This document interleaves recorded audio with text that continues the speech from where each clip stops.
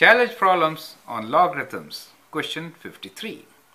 If log a of b equals to p cube and log b of a equals to 4 over p square, show that p is equals to 1 over 4. So that's a very very interesting question and I'd like to you know show you with some some strategies how to solve these kinds of questions. So let's try to use our those uh, reciprocal or change of base method okay? So let's do change of base when we say log a over b equals to p cube then what is log b of a? Right? That becomes so because this is given in b over a. So let's figure out if a over b so we'll write start like this. Log a over b is equals to something which is p cube. Let me start p cube here. Is p cube is equals to log a of b, correct? Then we'll write this in terms of b over a and then see what do we get. So we can write this that is change of base formula, right? So we'll apply change of base formula and say we'll change our base to b. So when then say log b of b divided by log b of a, right? Now what is log b of b? Log b of b is 1 so it is 1 over log b of a. Correct? So what is log b of a? It is given as 4 over p square. So we can substitute this value right? So we have p cube equals to 1 divided by 4 over p square which is log b of a. So we'll say 4 over p square. Correct? So that is to say that p cube is equals to p square over 4. So we get p square over 4, right? And we need to prove what? p is equals to 1 over 4, which is evident from here. If we divide by p square on both sides, what do we get? So this implies if I divide by p square, I get p equals to 1 over 4. So we get what we really wanted to prove. So we have shown that P is equals to 1 over 4. So that is a very interesting way of solving it. Now what we can do is we can try doing it in a different manner.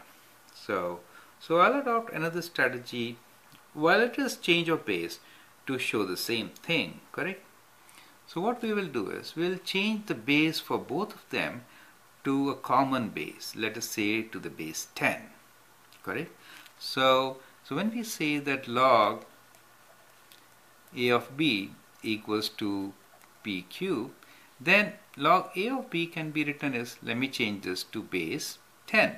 So I can write this as log 10, so I don't have to write log 10 here, of b divided by log 10 of a equals to p cube, right? So this is one equation I get.